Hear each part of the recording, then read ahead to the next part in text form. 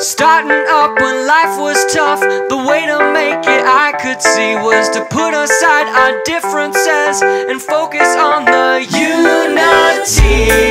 unity